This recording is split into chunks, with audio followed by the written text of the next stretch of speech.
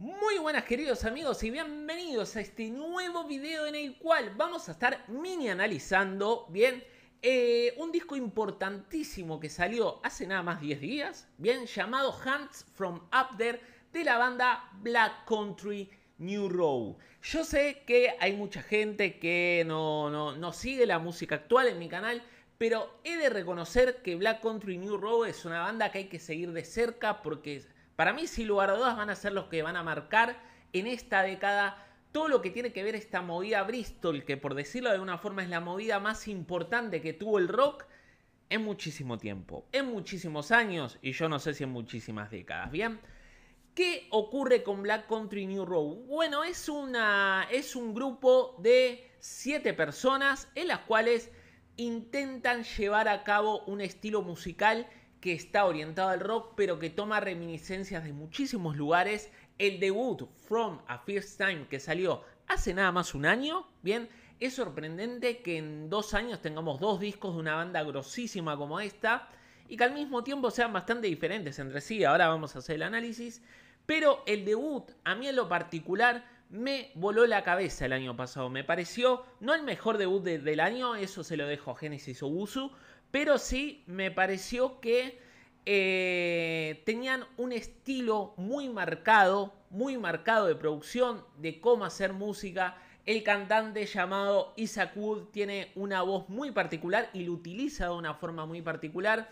Y la verdad que el disco anterior, con sus pros y sus contras, sin duda se metió entre los mejores discos del año. Es un disco muy sólido, que se nota cierta inexperiencia dentro de lo compositivo, pero que al mismo tiempo eso le da cierta frescura. Bien, entonces, al día de hoy, cuando me enteré que ya Black Country New Road estaba trabajando en un segundo disco, yo dije, a la miércoles, ¿no? A la miércoles, tan rápido. Verdaderamente van a poder hacer un disco a la misma altura que el debut, sacándolo tan rápido como está la industria de la música al día de hoy. Y vamos a empezar por lo siguiente. Para mí, Hands from Up There es un disco que está a la misma altura, pero con diferentes matices que el anterior.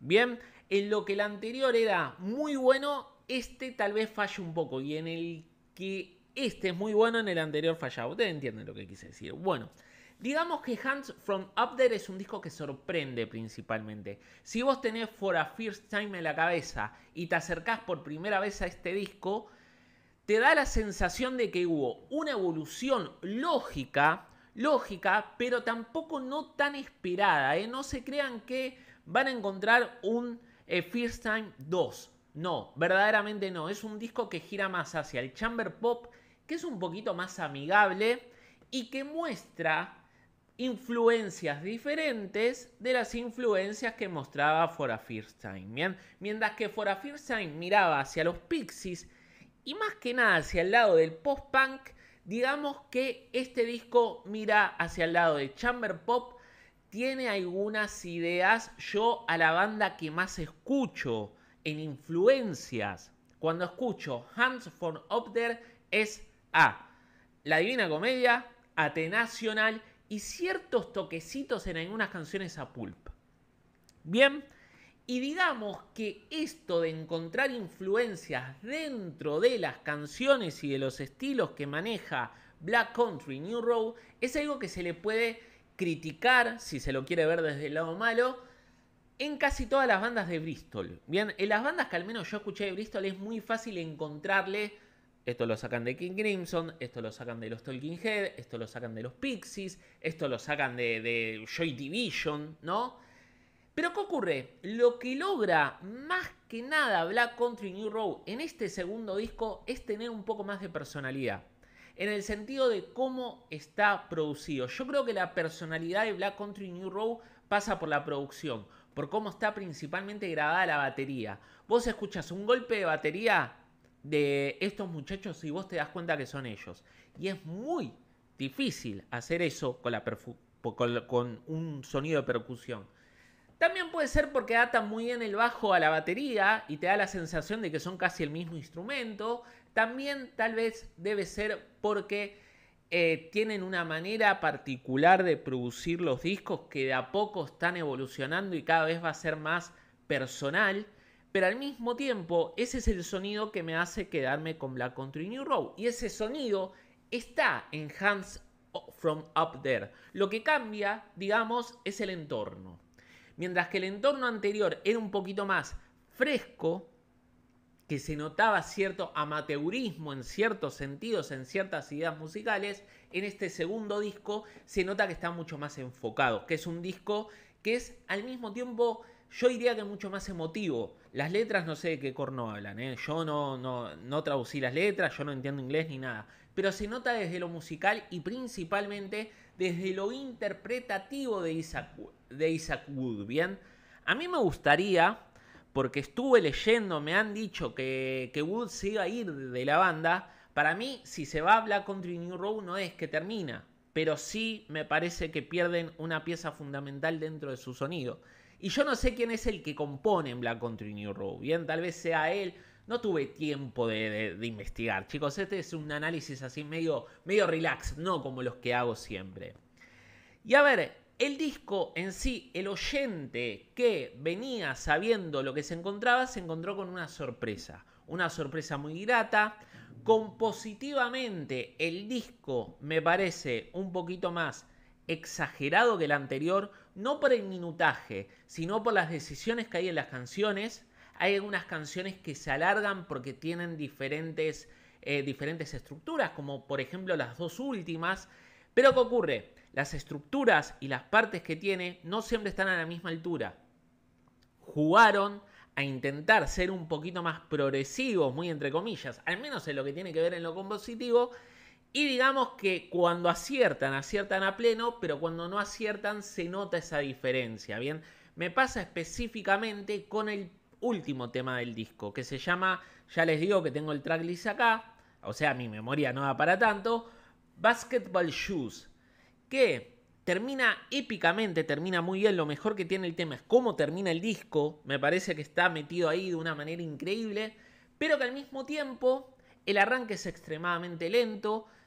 Arzun, están creando una atmósfera para que la cosa vaya para ese lado. Sí, como ustedes quieran, pero no termina de ser del todo efectivo si se hace largo y longevo. Y no es que no tenga experiencia escuchando este estilo de música, ¿bien? Después, por ejemplo, Snow Globes me parece un tema que es un poco más corto, tiene 4 minutos menos que el anterior, pero al mismo tiempo tiene 9 minutos, ¿bien? Y me parece que está un poquito más enfocado. Pero ¿qué ocurre? Esto no es lo peor del disco. Lo peor del disco es que en el medio tiende a caerse. Hay tres temas en el medio, medio como que no están a la altura del disco y ni siquiera están a la altura de los peores momentos del disco anterior. Bien, como puede ser. Principalmente Haldern, que no encuentro, no me parece un tema soso, literalmente. Y, el, y este es cortito, pero bueno, si es cortito, ¿para qué lo metes? Eh, tal vez tuvieron la idea de dar un respiro al disco, pero no, no va hacia ningún lado, como es Mark Stem, ¿bien? Y a mí, el tema God Will Hunting, tanto, tanto no me vuelve loco, tanto no me gusta. Lo que ocurre es que los dos últimos temas, con los problemas que dije, tienen momentos muy buenos, pero la chicha, lo verdaderamente increíble está al principio. Más allá del, del intro, que parece que va a ser una, una, firma de, la banda, medio como que eh, tiende a... Em, tiende a tener los tres primeros temas, sacando el intro, de lo mejor, de lo mejor, de lo mejor, verdaderamente. Y al mismo tiempo, me animo a decir que son las mejores canciones del disco. Eh, para ser más, más, más claro, el tema que se llama, ya les digo, el tracklist lo tengo acá, que se llama Chaos Space Marine. Tremendo tema. Se utiliza muy bien lo que tiene que ver los instrumentos de viento. Si algo tiene Black Country New Road que lo diferencia de muchos de muchas bandas de, de, la Bristol que cuando utilizan instrumentos de viento no ven tanto a King Crimson, ¿bien? Después viene Concorde, que para mí es el mejor tema del disco. Y es el tema en el cual más se notan las influencias tanto de la Divina Comedia, de The Divine Comedy, la banda, ¿bien?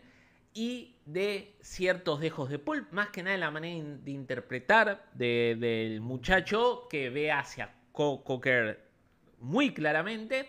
Y después el tema Bredson, que a mí de, de, todos los experimentos que hay de estos temas que no buscan tanto lo instantáneo, es el que mejor funciona de todos. Bien. Y no hay muchísimo más para decir de este disco. A ver, hay mucha gente que dice que ya tenemos el mejor disco del año. Es obvio, que es muy rápido para decirlo, es obvio de que faltan muchísimos grandes discos para salir, pero este tiene toda la pinta, como ya tenía el anterior, de ser un disco que va a marcar el año y que digamos que tal vez en el momento de hacer los tops tengamos la mala costumbre de que, ah, como salió en principio de año, nos olvidamos de él. Bien, y no va a tener que ser así, porque está a un nivel al menos casi igual que el anterior. ¿Cuál prefiero más yo? Y bueno, a mí me gustaba mucho el anterior porque tenía ese dejo de frescura que acá se pierde, no por ser un segundo disco, ¿eh? No se crean que es porque, bueno, vos la sorpresa te la llevaste con el primero y eso vale mucho. No lo digo por eso. Lo digo porque hay una idea, hay un concepto musical más profesional en este, de un sonido más trabajado, que a mí en lo particular me gusta un poquito menos que la frescura y lo, tosco muchas veces que era en el anterior disco. Bien. Así que bueno chicos, espero que les haya gustado este análisis. Si quieren que traigamos más análisis nuevos, apoyen con likes y todo lo demás. Bien, nos vemos en la próxima, boys. Adiós.